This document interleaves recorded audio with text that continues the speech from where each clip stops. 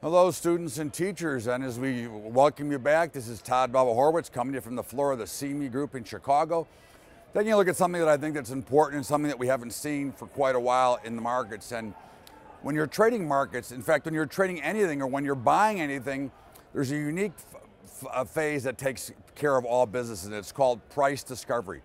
When you go to the store and you buy something, they're selling something at $9.99, you pay 99, so the seller's at $9.99, the buyer's at $9.99, and you discover price, which the fair price is $9.99. If that product doesn't sell, they lower the price to, to find a buyer.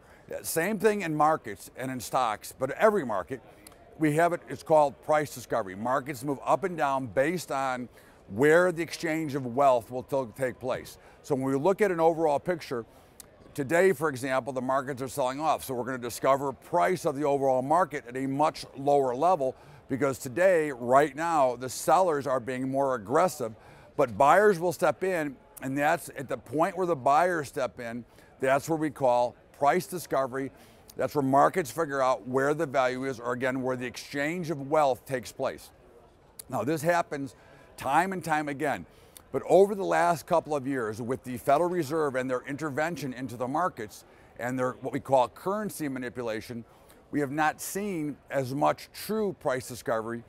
We've seen partial until a point, but then when markets move too far in the direction to the downside, typically one of the central banks around the world or the Federal Reserve step in and then they take away the true meaning of what real price discovery is. Because interest rates, being manipulated by the Federal Reserve, currencies being manipulated by the central banks and the Federal Reserve, everybody else using this manipulation tactic, all that means is that we're not getting what we call true price discovery. One of these days we'll go back to true price discovery. Markets will price themselves out because interest rates, stock prices, everything always finds what is a price where the seller is willing to sell it and the buyer is willing to buy it. So that's what we talk about price discovery. This is Todd Horowitz coming to you from the CME Group in Chicago.